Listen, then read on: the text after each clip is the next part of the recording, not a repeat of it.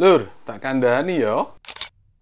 Nek awakmu golek nggon cangkruk sing semriwing dan bergaya pedesaan Eropa, mereneo Neng Rustic Market Gunung Sari, Surabaya. Iki kafe sing setiap sudutnya dirancang ben seolah-olah awakmu lagi plesiran nang desane Eropa. Iki kandang utawa barn house sing wis disulap dadi semacam aula. Ning kene pilihan panganane akeh. Kabeh diorder ning jero bangunan iki. Hmm, anjen apik lur, lur.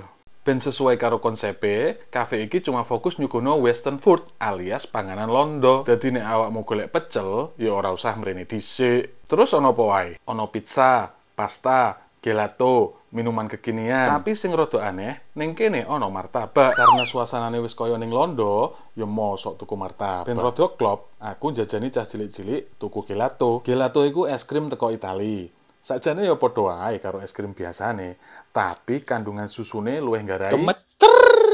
Sing cah cilik-cilik milih dark choco karo krim cookies. Disendoki wong loro ning isor wit ngono ae wis ayem lho. Sing bocah rodok gede, milih varian biscoff karo cheesecake. Iki nek menurutku juara sih.